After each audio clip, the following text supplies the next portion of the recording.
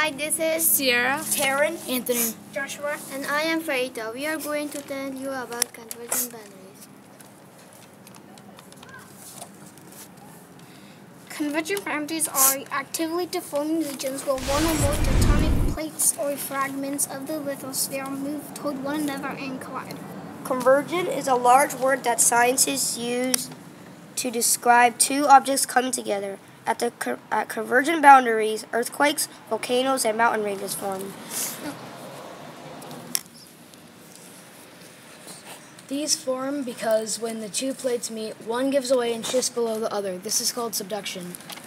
Subduction is a key part of convergent boundaries. An example of the formation of mountains is the Himalayas.